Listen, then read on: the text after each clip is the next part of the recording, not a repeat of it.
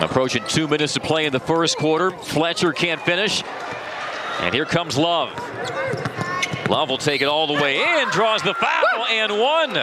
Coast to coast, and is able to finish with the contact. Great finish over Strautmane with the and one. McQueen tight ropes the baseline, hits Lawton, feeds Boyd for another three. It's a fourth triple of the first quarter. Fortner has expected from Anaya Boyd. You know, she needed to get into some shape, had a bit of an injury from high school, but now that she's looking like she's getting in the game, but we have to tip our hat to McQueen. She was impressive and played very well in her absence, but it's great to have Kierra Fletcher back for this Georgia Tech ball club. And this is what Georgia Tech cannot do. In this zone, they cannot get stagnant. They have to move. And that's just a big time shot. That's a long time.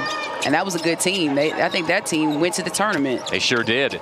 Wrap around pass, Mangakahia to Cardoso. Oh, was that pretty. Mangakahia She's serving up some dimes. Oh, she's serving up some dimes today, and we're not surprised. She's first in the ACC. There was one coach in the ACC that you could count on to make a face mask look stylish. You knew it'd be Coach Q. Yeah, Coach Q.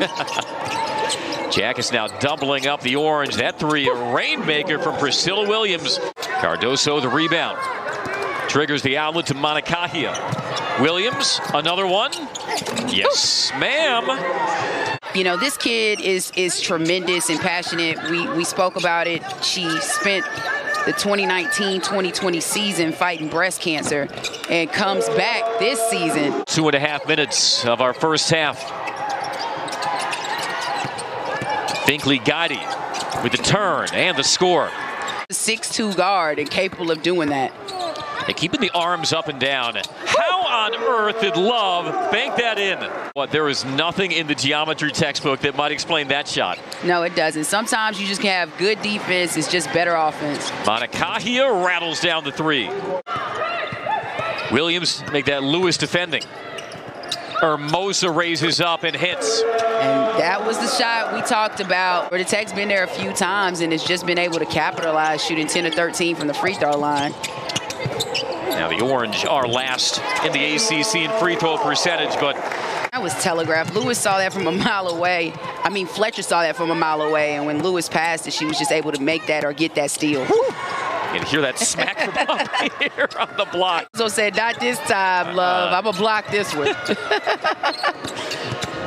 Mangakahia, the tight wow. rope and the reverse. Q's deficit as we approach two minutes in the third quarter. Yeah, Georgia Tech in this second half can't really get a three-point shot to fall, but Lewis was able to get that mid-range jump shot. Mangakahia being out, they needed some point production, and Lewis really stepped up, averaging about 17.6 points a game. All Cubaj with the up and under and with the offhand. Man. Lahtinen peels around the screen, gets some daylight in the lane, and drops it in. And that's what she's capable of doing. Lahtinen is the leading scorer for this Georgia Tech ball club, and she's going to need to score points if Georgia Tech wants to get a win. Now, Engstler responds with the lay-in. An Islander. She's a hard-nosed, tough player, averaging a double-double off the bench for this Syracuse team, and she's just pretty consistent. And she lets it fly on the pick and pop for three. She's been able to capitalize and be aggressive in the paint. This is both free throws, though. Off the skip, Strautmane up. One possession game. Impressive for the senior to get to a 1,000 points. Impressive for any player that can make and reach that accomplishment. Fletcher threads the needle to Cubaj.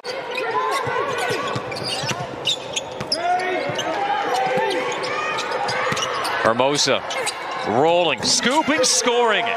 Lead is safe against Syracuse this year in the fourth quarter. They have been the fourth quarter queens. Cardoso catches the deflection and lays it in. Almost four minutes into our final quarter. Cubaj measuring up Engstler, wriggles underneath her and lays her in. He doesn't have the right size to guard Lorela Cubaj, but Lorela Cubaj has been capitalizing on that. Oh, and Hermosa with the stuff on Cardoso. Cubaj draws the double. Rotated to Love. Love as Williams hits the floor, knocks it in. Highly touted recruits who are very talented, but Love was able to capitalize, get that uh, baseline shot to fall for Georgia Tech.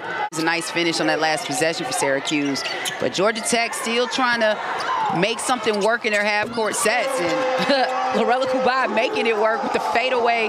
Engstler misfires, and Fletcher bolts out of there with it. Has Hermosa over the shoulder. Two more for Hermosa, and Georgia Tech up 13. Based on how Kierra Fletcher started to get it going, making some nice passes, getting Hermosa back in, Cubaj, and you just see she is continuing to show her presence. Nice shot. Really step up this season and show some junior and senior leadership for this team, and they've done well, tremendous. Reviewing to see whether there may have been a, a maybe contact dead ball technical on Love. Instead, it was just a common foul. As post players able to dish it to each other and give each other good looks. Another deep catch by Cardoso. What do you do about that? Syracuse can do right now. They're down a 11 points, but they need to try and score quickly. Not much time left in this game. Oh, that was an alley-oop from Mangakahia to Cardoso. Her game, you can't even speak. It speaks volumes for itself and how she's played in this stretch in January and during this six-game win streak. McQueen to beat the shot clock. And a frustrating night for the Orange. Georgia Tech earns a sixth straight win. Our final score tonight from McCamish Pavilion